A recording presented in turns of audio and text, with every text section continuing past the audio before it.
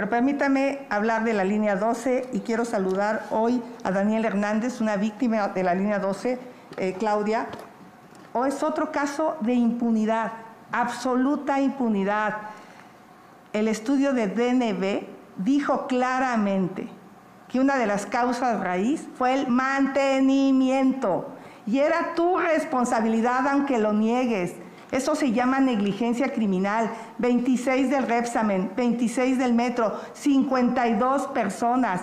Y la verdad es que sigue siendo fría, sin corazón. Yo te llamaría la dama de hielo, porque no veo cómo ni siquiera te atrevas a voltear.